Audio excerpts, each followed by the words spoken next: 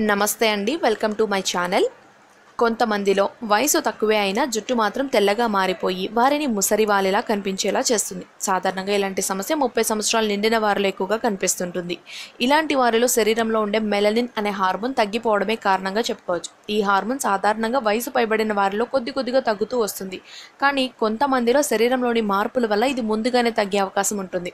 చాలామంది నలుపు రంగు డైలు వేసుకుంటూ ఈ సమస్యను కవర్ చేయడానికి ప్రయత్నిస్తారు. కానీ ఇది మన కేశాలపై ఉన్న సహజ సిద్ధమైన నూనెల్ని పీల్చేస్తాయి. ఫలితంగా జుట్టు జీవం లేకుండా తయారవుతుంది. మరి ఎలా అని ఆలోచిస్తున్నారా? కొన్ని సహజసిద్ధమైన పదార్థాలను ఉపయోగించి కూడా జుట్టును నలపరుచుకోవచ్చు అని మీకు తెలుసా? మరెందుకు ఆలస్యం? అవేంటో తెలుసుకుందాం రండి. సాధారణంగా జుట్టు తెల్లబడుతుందంటే వెంటనే గోరింటాకు పొడిలో టీడీ కాషన్ కలిపి తలకు పెట్టేయడం మనలో చాలా మంది చేసే పని. దీనివల్ల జుట్టు పూర్తిగా నల్లగా కాకపోయినా కాఫీ రంగుకు మారడం వల్ల మిగిలిన జుట్టుతో కలిసిపోతుంది. ఇదొక్కటే కాదు ఇలాంటి సహజ సిద్ధమైన పదార్థాలు మరికొన్ని ఉన్నాయి. అవేంటో చూద్దాం రండి. అందులో మొదటిది కాఫీ. అద్భుతమైన రుచిని అందించే ఈ పానీయానికి జుట్టు రంగును మార్చే శక్తి కూడా ఉందంటే మీరు నమ్ముతారా? కానీ ఇది నిజమే. కాఫీ మంచి డయింగ్ ఏజెంట్గా పనిచేస్తుంది. దీన్ని తరచూ వాడటం వల్ల జుట్టు నల్లగా మారడం మాత్రమే కాదు ఆరోగ్యంగా మెరుస్తూ ఉంటుంది.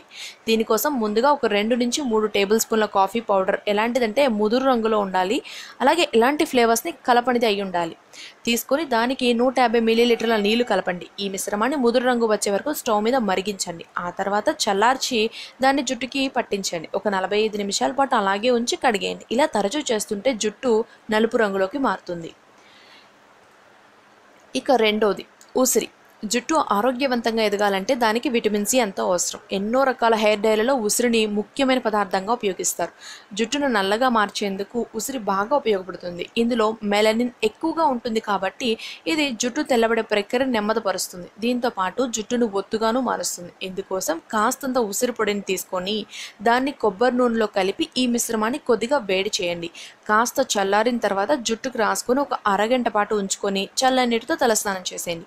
ఇలా తరచు చేయటం వల్ల జుట్టు ఒత్తుగా నల్లగా మారుతుంది. ఇక నెయ్యి. నెయ్యి చాలా మందికి ఈ పేరు చెప్పగానే నోరూరిపోతుంది. ఆహార పదార్థాలకు రుచిని అందించడం మాత్రమే కాదు నెయ్యి మన ఆరోగ్యానికి ఎన్నో విధాలుగా ఉపయోగపడుతుంది. నెయ్యి వేసిన ఆహారం తీసుకోవటం వల్ల మన జీర్ణ వ్యవస్థ కూడా సక్రమంగా పనిచేస్తుంది.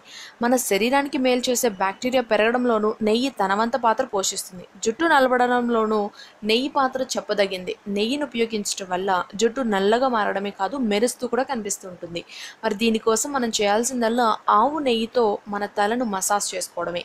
ఇలా చేసుకొని ఒక గంట అలా ఉంచి తర్వాత తలస్నానం చేసేయండి. ఇలా కనీసం వారానికి రెండు సార్లైనా చేస్తే మంచి ఫలితాలు కనిపిస్తాయి. ఇక బంగాళదుంప. బంగాళదుంప కూరన్న చిప్స్ లేదా ఫ్రెంచ్ ఫ్రైస్ అన్న చాలామందికి ఇష్టమే. అందుకే దీన్ని ప్రతి కిచెన్లో కనిపించే దుంపగా చెప్పుకోవచ్చు. అయితే మనం కూరలు వండేటప్పుడు బంగాళదుంప తొక్కను చెక్కేసి లోపల భాగాన్ని మాత్రమే ఉపయోగిస్తాం. మరి మిగిలిన తొక్కలను ఏం చేస్తున్నారు?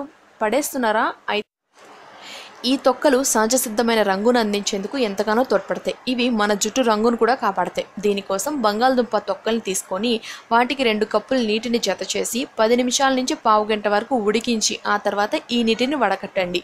ఇలా వడకట్టిన నీటిని జుట్టుకి అప్లై చేసి ఒక అరగంట పాటు ఉంచుకొని ఆ తర్వాత చల్లని నీటితో కడిగేస్తే చక్కటి ఫలితం ఉంటుంది. అలాగే ఈ నీటిలో పెరుగు కలుపుకొని మాస్క్లా వేసుకున్నా సరే మంచి ఫలితం కనిపిస్తుంది. మరి ఇప్పుడు చెప్పిన ఈ టిప్స్లో మీకు నచ్చింది ఫాలో అయ్యి తెల్లబడుతున్న జుట్టుని నల్లగా మార్చుకోండి. మరి ఈ వీడియో కనుక మీకు నచ్చితే లైక్ చేయండి కామెంట్ చేయండి షేర్ చేయండి. మరిన్ని వీడియోస్ కోసం మా ఛానల్కి సబ్స్క్రైబ్ చేసుకోవటం మర్చిపోకండి. Thanks for watching